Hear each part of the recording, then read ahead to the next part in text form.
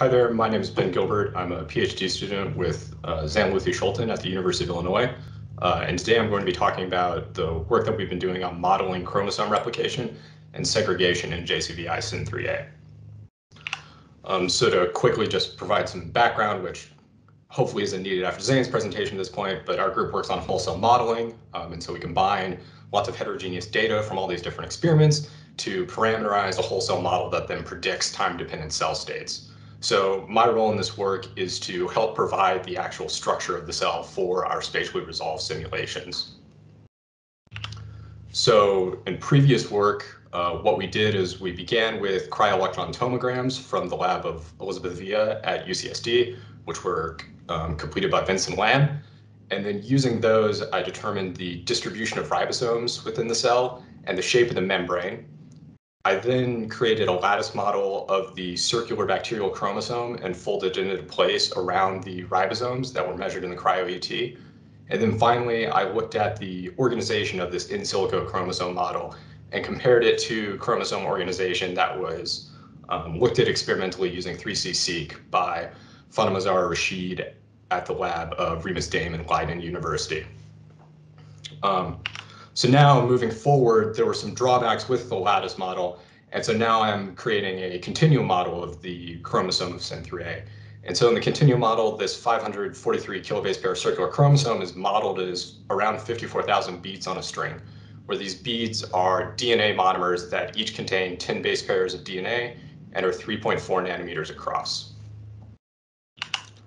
Um, so with this now continuum model, we again begin with the ribosomes that were measured in the cryo-electron tomograms with that distribution, which we have for both the small cell, which has a radius of approximately 200 nanometers, and for a large cell with a radius of approximately 250 nanometers.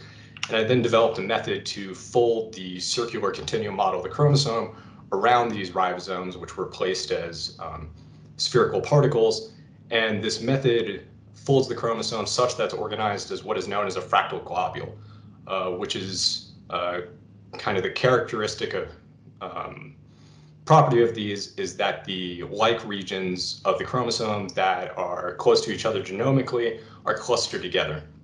And that's why you see the groupings of the different colors in the example chromosome. And then we validated this by calculating in silico contact maps and looking at the uh, power law fit to the contact probability. And this also works for the large cell, which can be seen here with the exact same results.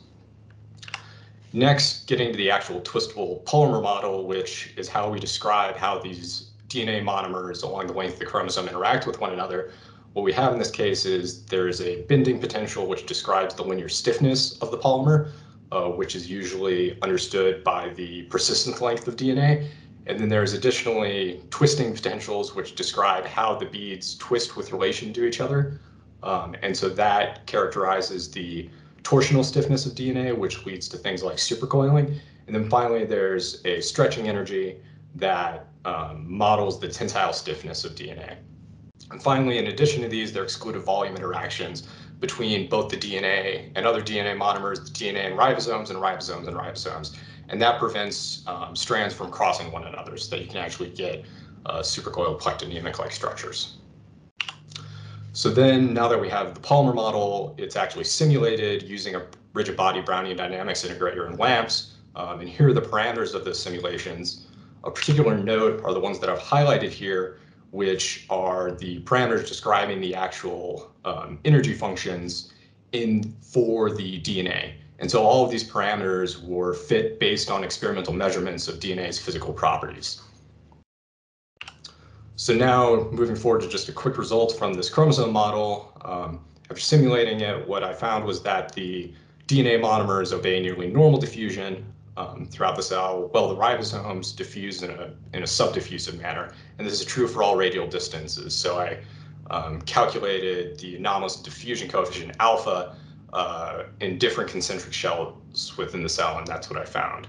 Um, and so I'm still in the process of investigating why this is the case and to see how we might explain this. So now moving on to the next part of my talk, discussing chromosome replication and segregation, I'd first like to outline some of the challenges that are associated with that. So firstly, we have to address how do we represent the chromosomes in non-trivial replication states. In other words, these nested theta structures, such as what Zane showed in his earlier talk. Next, how are the double-stranded DNA strands of the daughter chromosomes actually added to the system? And then finally, how do the daughter chromosomes segregate whilst they are being replicated from the mother? So addressing this first challenge with these non-trivial replication states, I'd first off like to define this term chromosome replication complexity as the ratio of the most replicated region to the least replicated region. So for most common cases in bacteria, this is just the ratio of the number of origins to the number of termini, and this is around 3.3 or 3.4 for SYN3A. And so my solution to addressing these non-trivial replication states was to represent the topology using binary trees. Um, so here's an example replication state on the left where we see that's a system with three origins highlighted in green, four forks highlighted in blue, and one ter highlighted in orange. And the diagrammatic representation of that is on the right, which corresponds to this structure. And so the underlying assumptions are just that the replication forks of daughter cannot proceed past the replication forks creating their mother. And then additionally, we can look at the total genome content um, and kind of frame everything with respect to that. So on the right is a is an additional diagram depicting how we have an understanding of where exactly these daughter chromosomes are attached to one another. Um, so the next challenge to address is how the daughter chromosomes are actually created. Um, so there are a few different proposed models of how replication occurs in bacteria. One of them is this replication factory model where the replisomes are localized and the mother chromosome is pulled through this replication factory while the daughter chromosomes are extruded out the other side of the replication factory. Um, and then another model is the train track model, where the replisomes and the replication forks follow along the path of the mother chromosome and produce the daughters as they fall along that path. Um, so in our case, we chose to use the train track model because there's some experimental evidence for this being the case. And in addition, uh, this being the minimal cell, it requires the minimal set of underlying assumptions. There isn't, we don't have to assume that there's some additional protein system that's actually localizing the replisomes, in the like in the case of the replication factory. Um, so here's an example of DNA replication in my chromosome model using um, the train track model. So beginning on the left, we have this mother chromosome um, that's been folded around a ribosome distribution, and up near two o'clock is the origin highlighted with a red bead. Uh, and then as we go to the right, 20,000 base pairs of DNA are replicated, which corresponds to 2,000 monomers. And you can see that now at two o'clock, there are two origins and they're connected to the two strands of the daughter chromosomes. One is in yellow and one is in teal. And then we can see that the replication forks followed along the path of the mother. And one is now at around six o'clock, nine o'clock, excuse me, and is kind of deep within the cell. And the other replication fork is at three o'clock highlighted in purple. So finally, the last challenge is how we actually segregate the chromosomes now that we're using this train track model. Because, well, we're able to replicate it. What we ultimately want at the end is something like this, where we have a single cell that has two chromosomes in it that are kind of evenly separated in space. And there's a clear place for the cell to divide into two daughter cells that each contain one uh, fully replicated chromosome. So the proposed solution to that that we're pursuing currently is uh, disentangling the daughter chromosomes via the actions of SMC protein complexes to loop the DNA, and then the subsequent action of topoisomerases to decatenate uh, linked double-stranded DNA. And here's just a schematic depicting how that uh, is proposed to occur. And so just to provide some background quickly on SMC protein complexes, they're ubiquitous in both eukaryotes and prokaryotes, and they consist of this dimer with these two hinge domains that connect. And then at the other end are the head domains where we have uh, kite and kleisin proteins. So in the case of SYN3A, SYN3A has the SMC SCP AB complex, which was formed from one SMC, or two SMCs, excuse me, one SCPA and two SCPBs. Um, and so in the 2019 work by Breuer et al., what they found was that all three of these genes are essential, and they additionally figured out the uh, proteomics counts of these genes, which are listed here. So knowing that, um, what we then need to understand is the actual action of this loop extrusion. And so there are some wonderful experiments experiments by Kees Dekker to characterize the speed of loop extrusion um, as a function of relative DNA extension and then also as a function of the applied force, where they tethered DNA and then added SMC proteins to the system and then fluorescently observed the DNA being extruded, which can be seen at the top of this slide. So given that we have this experimental data on loop extrusion, what we need is a computational model. And fortunately, um, Bonato and Michieletto came up with this computational model of loop extrusion um, in 2021, where the loops are modeled with harmonic springs and they're extruded by advancing the harmonic spring along the length of the polymer. And it allows for both the um, harmonic springs to move along the same strand of DNA and then also to jump and reach out um, and grab a new strand of DNA in essentially 3D interstrand motion. Um, and so on the right is a depiction of their simulations of this loop extrusion model. And then in C and D are the actual measurements of how the loop extrusion proceeded. And in D, the comparison to experimental data, that experimental data is actually those uh, measurements that were on the previous slide uh, by Ganji et al. in Science. Um, and so finally, I'd like to conclude by just discussing some of my future work that I plan to do. And so firstly, I'd like to investigate distributions of the replication states. Um, so just as a quick example, given that we have some non-trivial replication state, in my computational model, I have a way to calculate the contact maps of the daughters. And so you'll notice in this contact map of daughters, there are these off-diagonal uh, intensities, which represent contacts between sets of daughters um, which are not normally resolved in standard 3C methods. Uh, and so then what I am working on is mapping these indistinguishable loci back to what would be observed in 3C because um, they're the same sequence, so there'd be no way in a 3C method of determining that they're from one daughter versus another daughter. So the next I want to come up with a statistical model to help us actually sample from a distribution of replication states because we know based on the qPCR that the cell is in um, some distribution of states where there are varying extents of replications and varying numbers of forks present.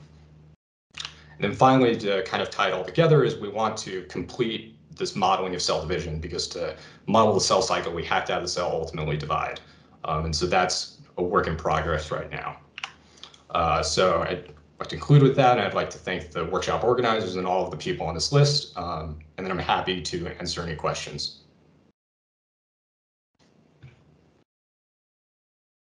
Very nice, Ben. Thanks. So I'm I'm I still wonder how does the cell we have we have the cell division plane with FTSZ and other cell division proteins.